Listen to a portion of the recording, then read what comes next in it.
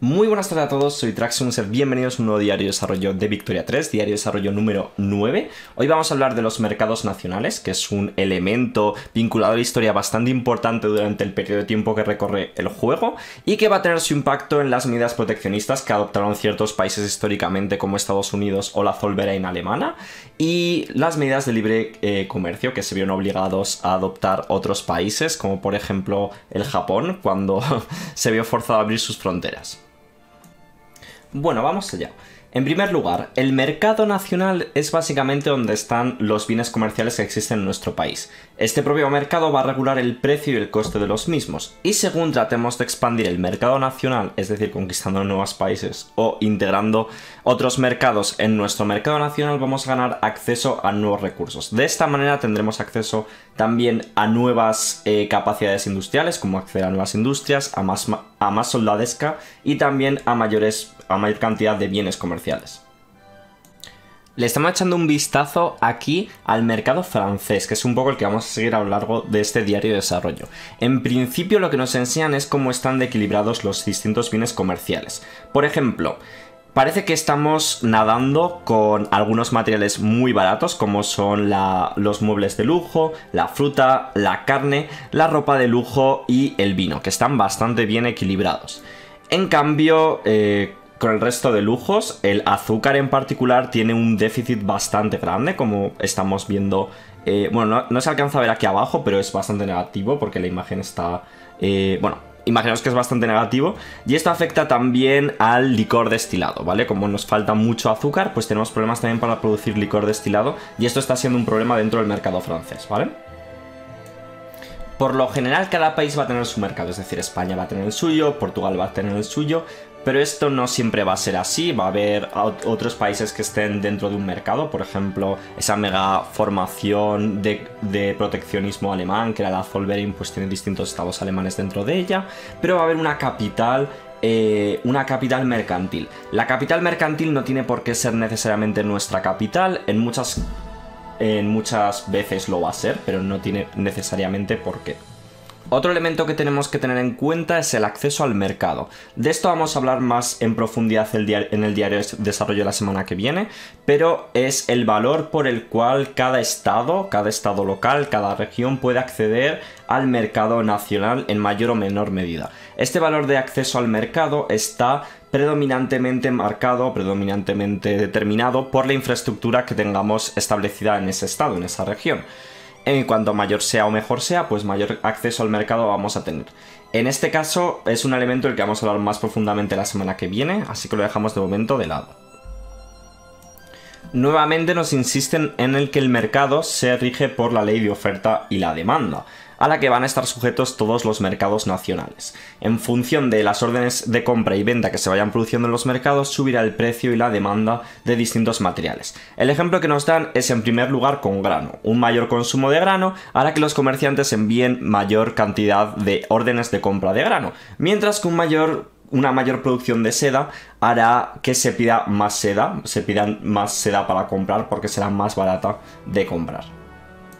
En esta imagen estamos echando un vistazo a cómo son los muebles en ciertas regiones de Francia. Parece que son bastante populares o que están creciendo la, popularidad de este bien comercial dentro de, lo que es la clase media y la clase baja urbana.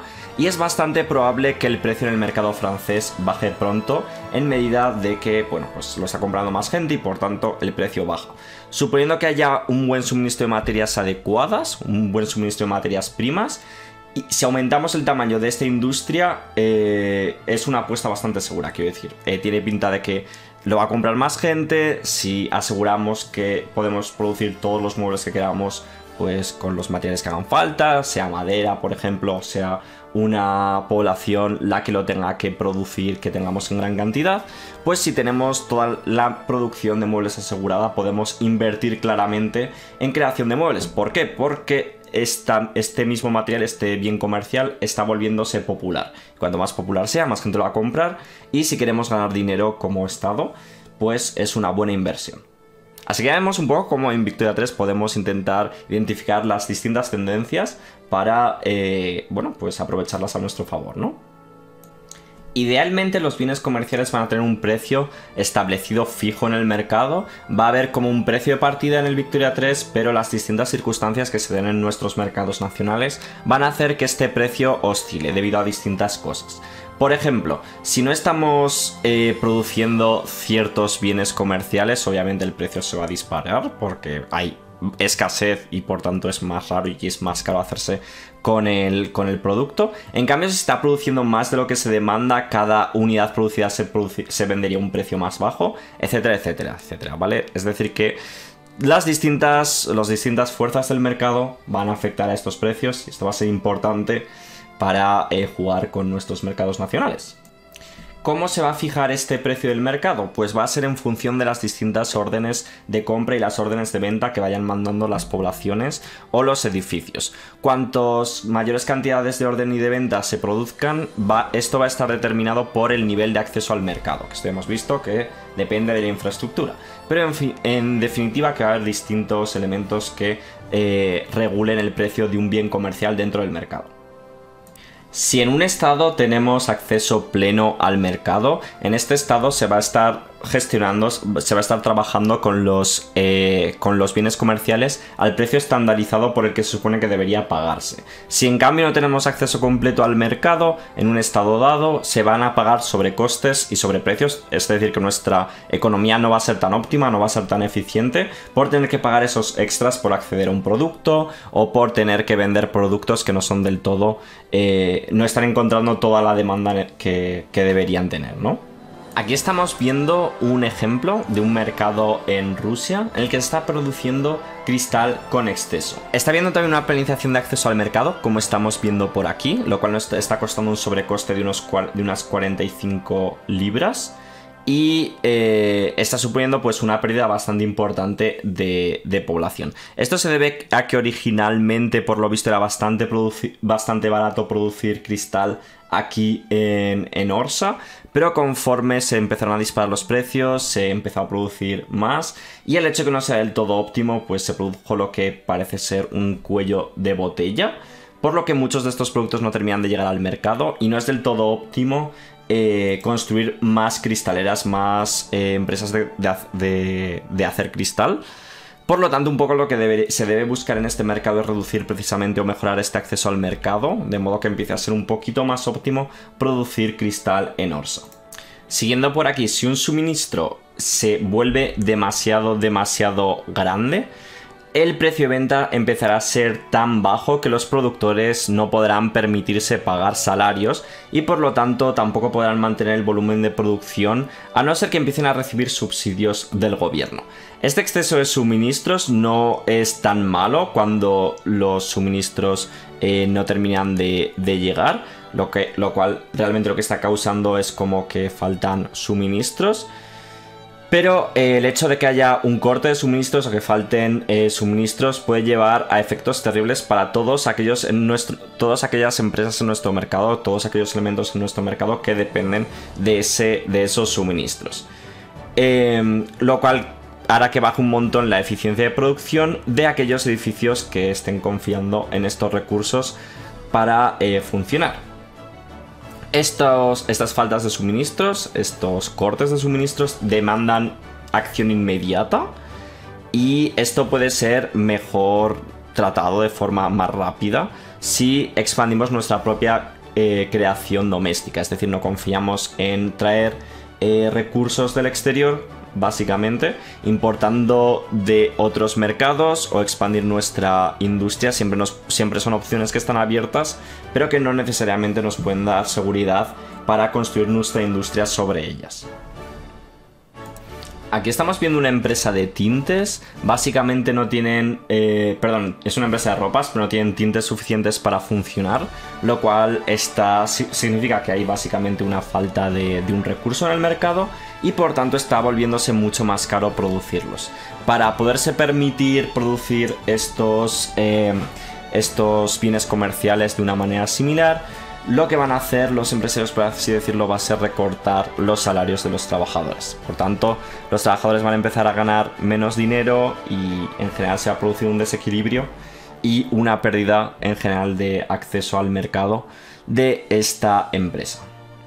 Una de las opciones que nos presentan en esta segunda imagen para lidiar un poco con la. para solucionar un poco este problema es cambiar un, poco el método de producción de esta empresa. Si en este caso estábamos utilizando tintes para producir estas ropas, sin embargo, volvemos a un método eh, industrial previo en el que no estemos utilizando tintes, pues como veis podemos acabar produciendo ropas sin uso de ese material del que tenemos eh, del que tenemos eh, pérdidas o del que nos faltaba y eventualmente conseguir pues una rentabilidad aunque sea no tan buena como la que podríamos estar obteniendo previamente si todo funcionase bien pero al menos no perder tanto dinero salvar ciertos pues, puestos de trabajo etcétera no en fin bastante bastante interesante todo esto Vamos ahora con un elemento de complejidad que aparece en Victoria 3 respecto a Victoria 2, que esto dicen que normalmente en un Victoria previo un bien comercial de bueno, una unidad se produce, se vende, se comercializa, quizás se refina, almacena y en última instancia se vende, pero es normalmente lo que el ciclo de vida que lleva un bien comercial. En Victoria 3 esto cambia un poco, ya que se produce una sola unidad de bienes y se vende inmediatamente a un precio determinado por para todos aquellos consumidores que están dispuestos a comprarla a ese precio. Cuando esto sucede, los precios van a cambiar automáticamente según la oferta y la demanda real que esté sucediendo, y el comercio entre mercados se va a ir modelando en función de estas órdenes de compra y de venta. Este modelo es bastante más abierto que el que existía previamente y responde un poco mejor a los cambios económicos que se pueden producir de forma simulada en el juego y también va a tener menos problemas de entrar en fallas sistémicas que podían suceder en juegos anteriores. Por ejemplo, que todo el cemento del mundo acabase encerrado en un almacén en Missouri, que eso pasaba en otras victorias. Y cualquier acumulación en el sistema se representa como dinero efectivo, ¿vale? Es decir, por ejemplo, eh, a través de las reservas de dinero que hay en edificios concretos o en nuestras propias reservas que podamos tener como país de dinero o como incluso la riqueza de la población. Esto es quizá un poco menos realista ya que no es como que esté el material existiendo en un sitio concreto como pasa en otras victorias, pero es para evitar problemas que se dirán de falta de suministros o de eh, ciertos materiales que no estuvieran circulando como debieran hacerlo. Y aquí hablan un poco los nerds de la economía. Yo no soy uno que he suspendido economía, chicos, lo siento. Como ya han incluido, como ya habrán intuido los fricardos de la economía, si eres uno de ellos, por favor, escríbelo en los comentarios de este vídeo. Esta falta de almacenamiento de bienes implica que en Victoria 3 nos hemos alejado de la oferta monetaria global fija que se introdujo en Victoria 2.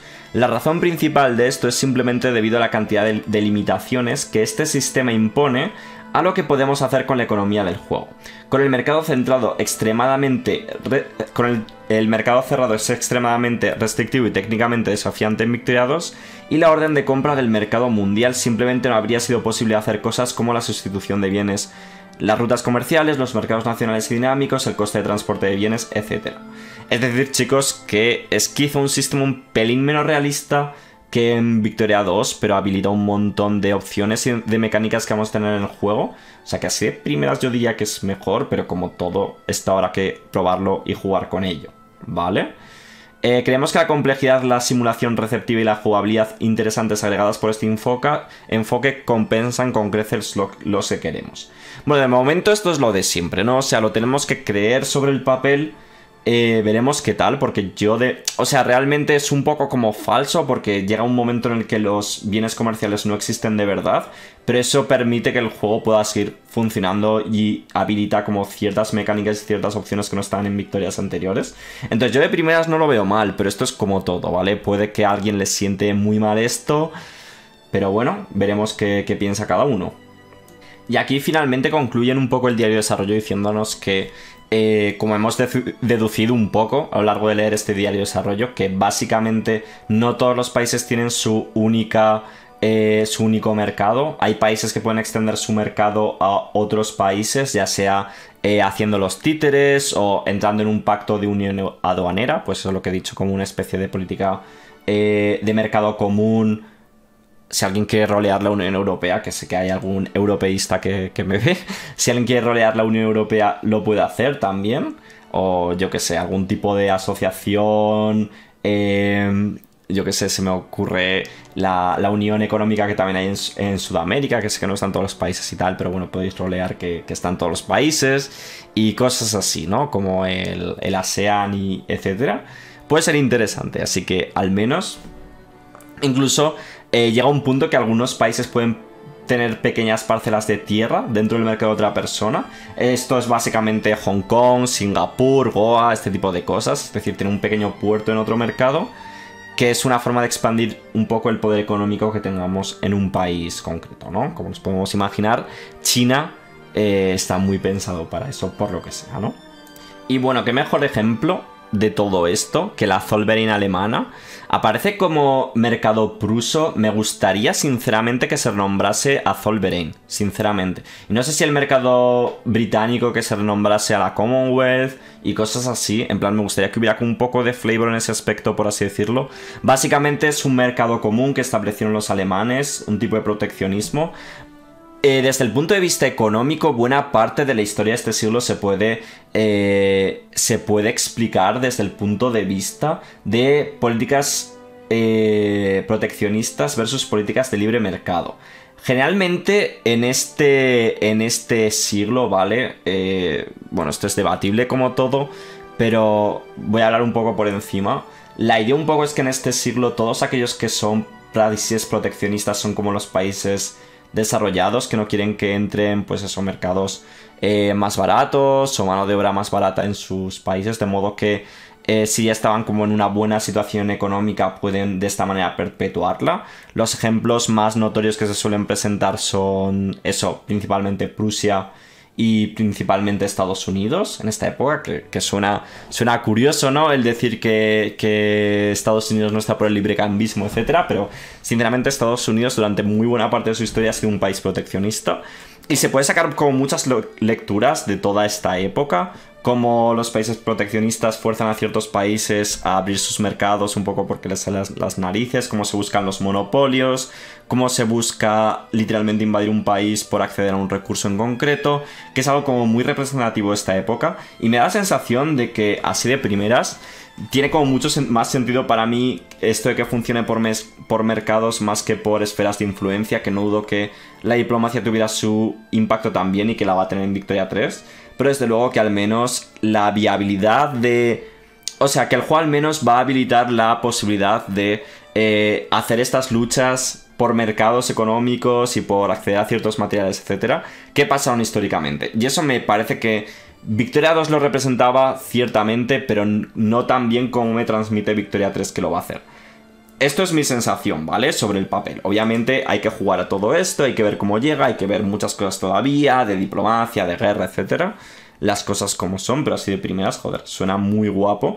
Y cómo va a ir variando todo y cómo se, va a ir adaptando todo en función de las distintas situaciones, guerras, eh, limitaciones de suministros, porque también hay rutas comerciales, que si te si, cortas una ruta comercial de un país de la que es muy dependiente, puedes crear una crisis económica terrible dentro. Entonces, joder, eso suena muy guapo, tío, sobre el papel, ¿vale? Obviamente, como digo, todo esto va a haber que acabar jugando.